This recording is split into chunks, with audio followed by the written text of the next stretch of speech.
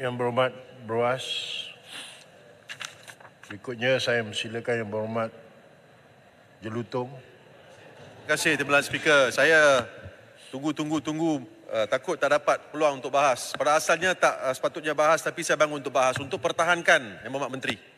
Sebagai seorang uh, peguam, saya lihat undang-undang ini mempunyai peruntukan-peruntukan yang cukup untuk mengawal produk-produk merokok uh, ataupun uh, mengawal demi kesihatan awam. Kita lihat kepada peruntukan. Saya mengambil uh, uh, timbalan speaker dan Dewan Yang Mulia ini melalui peruntukan-peruntukan. Saya terkilan melihat perbahasan daripada semua ahli parlimen di sebelah sana. Kita lihat, saya tak tahu sama ada mereka baca, tak baca rang undang-undang, dengar kepada pembentangan. Kita lihat pertama, larangan pengiklanan produk tembakau, Section 7. Larangan pengiklanan produk tembakau, Section 8. Larangan promosi atau tajaan produk tembakau. Peruntukan-peruntukan yang melarang dan mempromosi produk tembakau.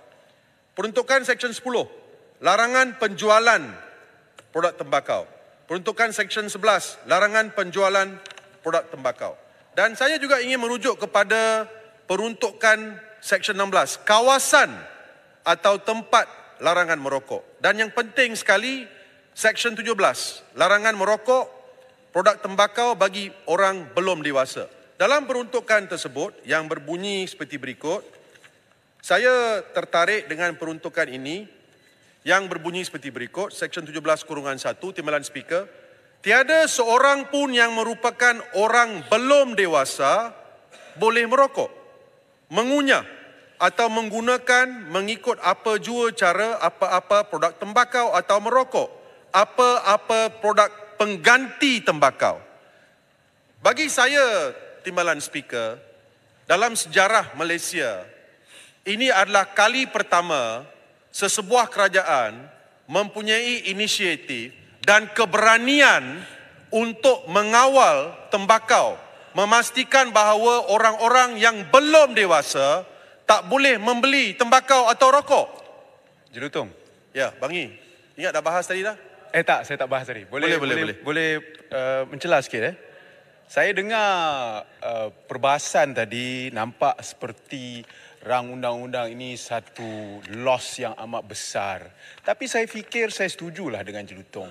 Sebenarnya rang undang-undang ini adalah satu kemenangan. Kalau kita boleh luluskan rang undang-undang ini, ianya adalah satu kemenangan sebenarnya. Sebab apa? Sebab dalam rang undang-undang ini, first time dalam rang undang-undang, kita ada peruntukan yang mana mengatakan bahawa salah satu daripada hukuman adalah community service. Kalau tak sebelum ini kita masuk dalam CPC. Dan juga ia sebenarnya, Jelutong setuju atau tidak, ia bukan setakat mengawal produk tembakau tetapi juga produk gantian tembakau yang mana termasuklah vape dan juga definisi dia adalah cukup luas untuk kita rangkumkan apa-apa produk yang ada di masa hadapan. Jadi tuan setuju atau tidak? Ya, terima kasih Yang Berhormat uh, Bangi. Saya minta uh, dimasukkan dalam uh, ucapan saya.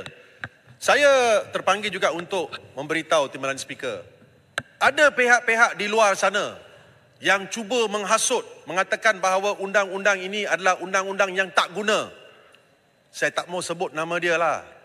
But who is he to tell us how to prepare this bill and present it? Kita hormati menteri kita. Kita hormati kerajaan kita. Dan kita tahu bahawa undang-undang ini sudah begitu mencukupi. Bukan saja peruntukan yang saya sebut tadi. Tuan Timbalan Speaker yang merupakan seorang yang arif mengenai peruntukan undang-undang yang pernah mendakwa di mahkamah. Kita lihat Section 44. Perlindungan kepada pemberi maklumat. Saya baca. Kita lihat sama-sama. Kalau ada ahli di parlimen uh, di sebelah sana pembangkang, marilah ikut syarahan saya. Lihat akta itu dulu. Baca sebelum itu sebelum membahas. Saya fikir semua yang bahas rata-rata tak baca. Perlindungan kepada pemberi maklumat. Kecuali sebagaimana yang diperuntukkan dalam subsection 2 atau 3, tiada saksi dalam mana-mana proceeding civil atau jenayah berkewajipan atau dibenarkan untuk menzahirkan nama, alamat atau apa-apa maklumat mengenai pemberi maklumat atau bahan maklumat yang diterima daripadanya atau menyatakan apa-apa perkara yang mungkin membawa kepada pemberi maklumat itu diketahui. Ini merupakan peruntukan yang boleh membantu kerajaan membanteras kegiatan-kegiatan penyeludupan rokok. Kegiatan-kegiatan yang akan menyebabkan rokok itu dijual secara berleluasa. Kenapa tidak kita melihat pada peruntukan ini tasik gelugur? Ada baca tak peruntukan ini? Macang? Ada baca baca tak peruntukan ini? Baca tak? Ada baca tak? Mestilah baca. Ah, bagus. Kita tanya kenapa tunduk pada lobby. Oh, apa Itu kita lobby? tanya. Baik. Ayo. Jelutong laju sikit maghrib dah ni, laju sikit. Okey, okey. Pelan-pelan, pelan-pelan. Saya nak bagi syarahan. Putrajaya sini laju, hantam, hantam. Dulu masa jadi menteri, undang-undang ini dibentangkan. Betul? Ada tidak? Jelutong, Jelutong. Dengar balik ucapan saya poin satu persatu.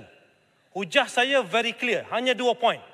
Pertama sekali hujahan kata perkara ini bertentangan dengan perlembagaan. Saya bagi bukti-bukti yang mana dari peringkat jawatan kuasa kata tak bertentangan. That's my hujah. Very clear on that. Jadi kalau menteri kata bertentangan dengan perlembagaan, pada masa yang sama sebelah MP kerajaan, ahli parlimen kerajaan kata nak bawa balik. Macam mana you nak bawa balik kalau bertentangan dengan perlembagaan? Itu satu. Jangan kaitkan dengan benda lain. Ha? My hujah is very clear. Yang kedua saya kata peranti. Kalau iklan produk tak boleh, macam mana pula iklan peranti boleh? Nak guna peranti itu untuk buat apa? I think my point is very clear. So jangan pusing-pusing jelutong. Nak main pusing-pusing, pusing-pusing orang lain. Terima kasih. Saya tak pusing. Saya tak pusing. Saya tahu bahawa ada pihak-pihak saya tak membuat tuduhan uh, timbalan speaker. Saya tak buat tuduhan. Saya dah jelas. Saya akan ikut peraturan. Peraturan-peraturan standing order. Ada pihak-pihak yang hanya cuba menghasut, memberi persepsi seolah-olah kerajaan ini tidak membentangkan the generation end game bill dengan izin cuma hanya untuk mengambil hati bahawa kerajaan ini tidak prihatin. Ah, jangan sebut Putrajaya. Okey? Okey. Pihak lain tu sebutlah. Terima Ya. kasih. Dan ada juga pihak-pihak yang lebih pandai daripada menteri lah. Saya tak mahu sebut nama dia. Yang ingat dia lebih pandai daripada peguam negara. Yang mengeluarkan kenyataan-kenyataan semata-mata untuk pecah belahkan kerajaan ini. Kita tahu niat dia. Sebab dia tak jadi menteri, sebab dia tak jadi calon, mungkin dia gaduh dengan bos dia dulu dalam parti yang sama. Kita tahulah siapa dia. Tapi tujuan beliau untuk menghasut rakyat Yang berhormat, satu minit, gulung. Okey, saya akan gulung uh, timbalan speaker. Ya, jadi calon tapi kalah di Sungai Buloh. Ya. Yang saja nak mengasut. Tapi saya di sini merayulah supaya kita prihatin dan kita yakin dengan kewibawaan menteri kita. Tepuklah sikit. Dan kita yakin dengan kewibawaan peguam negara kita. Tepuklah sikit. Dan kita tidak akan mak- termakan hasutan sebelah sana. Jelutong, jelutong sikit boleh?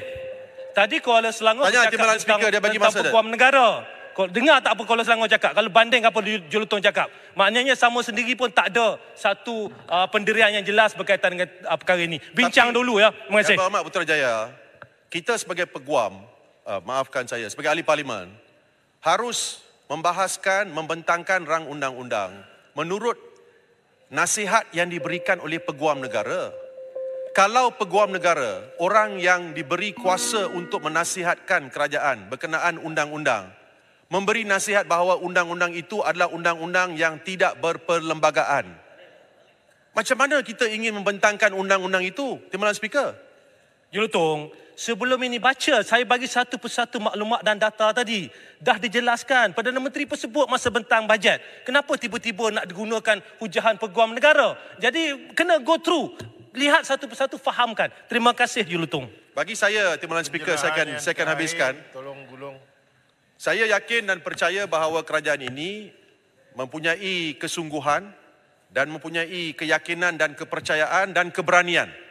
Dan saya yakin dan percaya bahawa peruntukan Seksyen 17 yang menyentuh tentang uh, larangan produk tembakau bagi orang-orang yang belum dewasa sudah mencukupi untuk kita mengawal memastikan bahawa anak-anak kita tidak akan terjebak dengan kegiatan merokok.